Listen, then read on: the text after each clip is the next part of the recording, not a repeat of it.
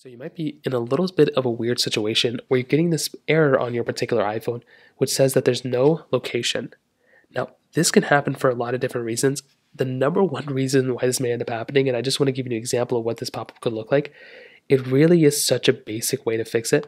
The main issue, the main problem that you're going to get into, and the reason why this is happening, even in Find My iPhone or whatever the case is, is because usually, one, your iPhone has not been connected to data in a long period of time or two, your particular device doesn't have your location services on as of this moment.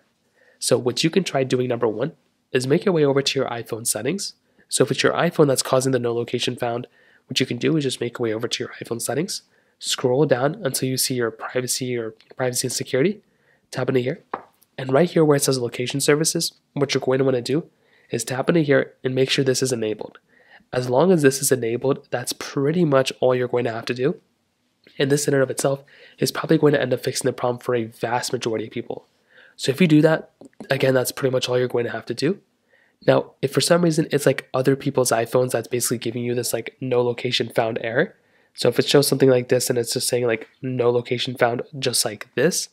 Now, a reason why this may end up happening is because that particular iPhone just doesn't have their location on.